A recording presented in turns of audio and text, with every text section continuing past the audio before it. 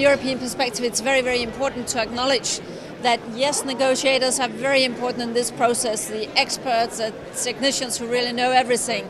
But in the end, it's also about the political will to make the compromises. So that is why it's very important to take care that now we have some very clear text with clear political choices.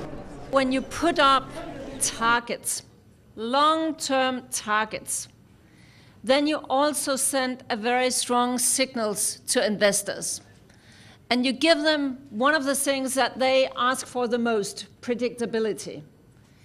And that is why we not only have set up targets for 2020 in Europe, uh, we are actually now in the Commission also preparing what we call a low carbon strategy for 2050, low carbon roadmap for 2050, that will be presented in the spring together with an energy roadmap for 2050 and a white paper on transport, just to say that sort of three major issues uh, will sort of be presented very much in parallel.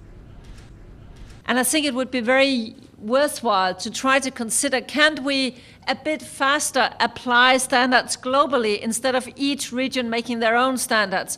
Uh, that I think, seen from a business perspective, that would definitely also make sense, I guess.